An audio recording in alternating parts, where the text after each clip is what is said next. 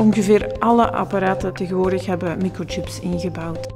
Bijvoorbeeld autosleutels, vroeger was dat een mechanisch ding, nu is dat een stuk elektronica. Je duwt op de knop en jouw auto gaat open. Dat wil ook zeggen dat je ze kan programmeren, dat wil ook zeggen dat je ze kan hacken. En zeker als die dan programmeerapparatuur verbonden is aan het internet, dan kan je eraan en kan het ook gehackt worden. Het Cathedro-project is een, een, project waar we gaan kijken hoe kunnen we die, die elektronica-componenten intrinsiek veiliger maken. De elektronica vandaag de dag is al beveiligd. Denk aan bijvoorbeeld twee pc's die met elkaar communiceren, daar zit al veel beveiliging op.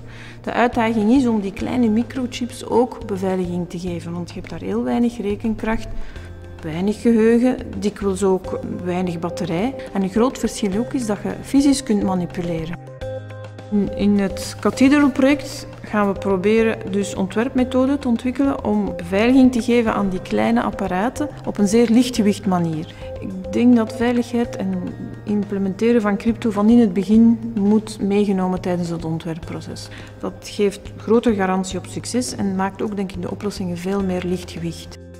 Binnen de onderzoeksgroep COSIC, een deel is van iMind Sky Leuven, doen we al minstens 15, 20 jaar onderzoek naar dit soort werk.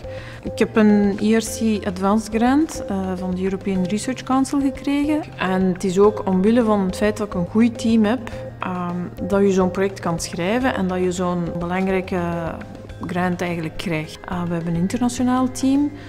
we hebben meer dan 20 verschillende nationaliteiten. Elk met hun expertise. En dat maakt ook dat we denk ik een wereldspeler zijn op dit vakgebied.